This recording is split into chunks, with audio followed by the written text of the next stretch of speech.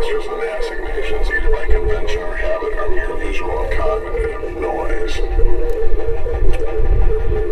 Embedded as we are within, a sys- within, systems whose elements have organized themselves into multiple and various social stratifications and lineages, we assume from our position a rarity,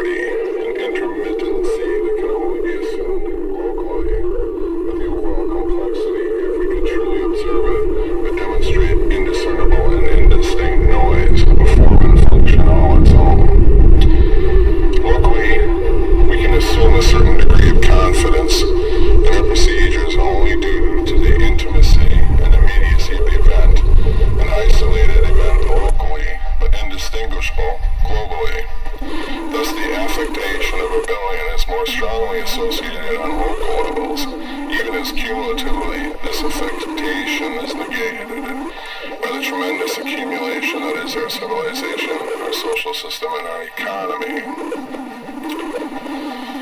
How does one address this as a participating agent? Cultural agents that we are, our myopia regarding our place in the system only encourages us to generate more noise to the system. Our cultural environment, either to supplant itself with more various variations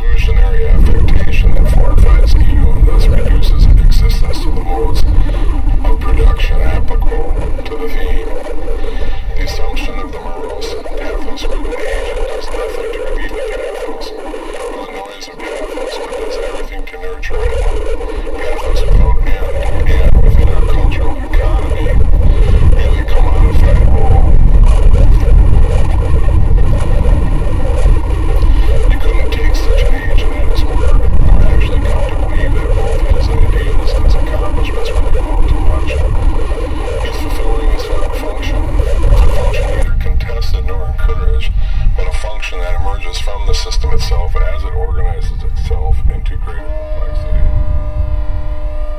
So I wouldn't necessarily